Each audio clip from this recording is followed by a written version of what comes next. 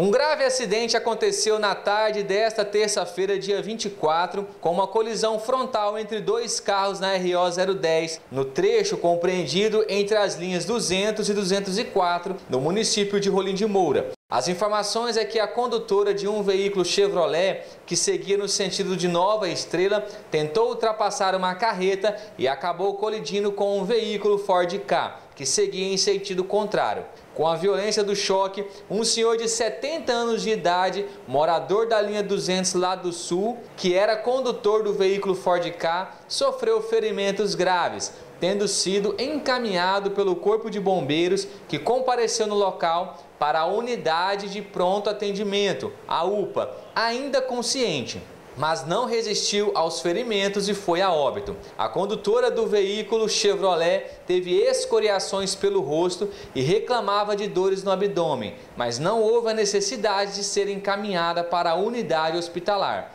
A Polícia Militar compareceu no local e fez o registro da ocorrência.